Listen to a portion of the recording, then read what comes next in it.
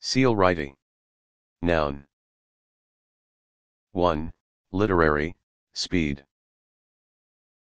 2. Oceanography, the speed of individual waves, as opposed to the speed of groups of waves. 3. Hydrology, the speed with which a perturbation to the flow propagates through the flow domain.